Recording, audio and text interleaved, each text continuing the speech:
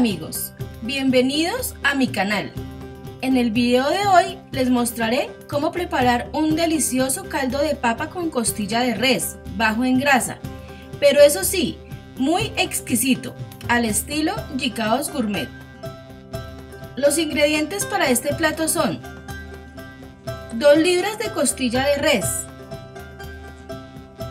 1 libra de murillo, este es opcional, cilantro y cebolla al gusto, 3 libras de papa, sal y color al gusto.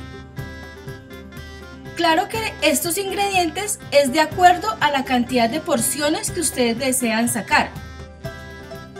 La preparación es muy sencilla.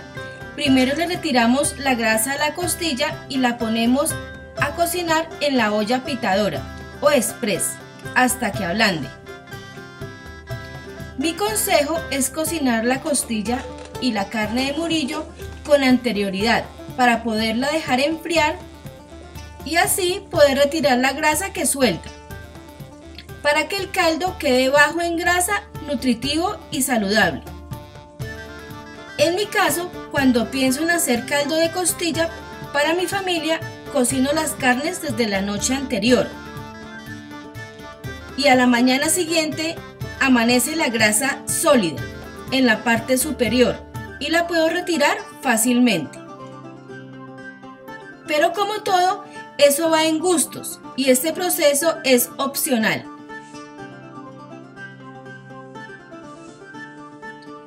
Como podemos ver, son 100 gramos de grasa que le retiré. En una olla agregamos la cantidad de agua que necesitamos de acuerdo a las porciones que vamos a sacar y le adicionamos los demás ingredientes. A mí me gusta ponerle los tallos del cilantro con la raíz, pero eso sí, muy bien lavados. Y esto le da un gran sabor al caldo. Picamos la cebolla y la agregamos al agua. Adicionamos un poquito de color y sal al gusto.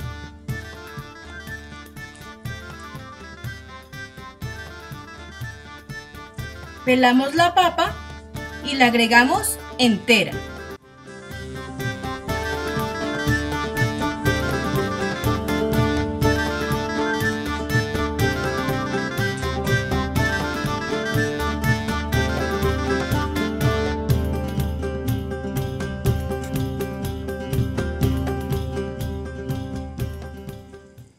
Se deja hervir hasta que ablande la papa y mientras tanto alistamos el cilantro y la cebolla para colocarla al final cuando el caldo esté listo para servir.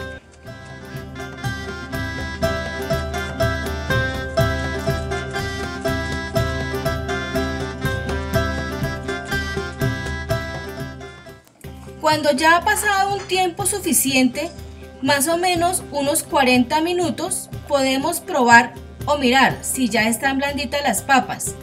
Y esto indica que el caldo ya está listo. Este plato es ideal para un desayuno en familia, al estilo colombiano. Y lo que más me gusta es que cuando cocino para mi familia trato de que sea saludable. Es por esto que hago el proceso de retirar la grasa.